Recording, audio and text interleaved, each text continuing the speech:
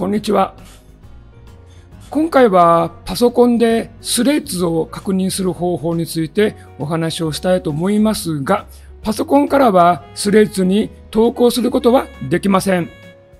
こちら、インスタグラムの、えー、パソコンでの、えー、マイページでございます。はい、このね、上の方の、えー、右側の歯車マークの1個右に、えスレッズのマークがありますね。はい、ここをクリックします。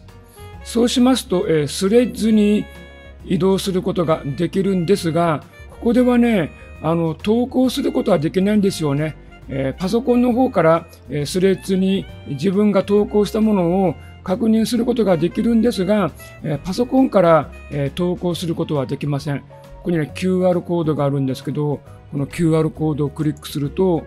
えアプリをインストールしていいね、返信、投稿しようとあるんで、パソコンからでは、まあ、投稿できない。ここをクリックしてもね、えー、投稿というボタンがね、ないという状況でございます。あくまでもね、これ、インスタグラムの、えー、コミュニケーションツールということで、これ、インスタグラムのボタンがついている。で、インスタグラムに戻って、まあ、インスタグラムはね、この作成をクリックすると、えー、新規作成を行うことができるんですけれど、まあ、新規投稿をね、行うことができるんですけれど、まあ、残念ながら、えスレッズはね、えパソコンから、え投稿することはできません。ただしね、ここに URL があるんで、この URL をね、お気に入りに登録していて、パソコンから、え確認する、パソコンからね、他の方の、あ他の方のもこれ閲覧できないんですね。自分のスレッドしかこれ閲覧できませんので、まあ、タイムラインとかをね、表示することもできません。はい。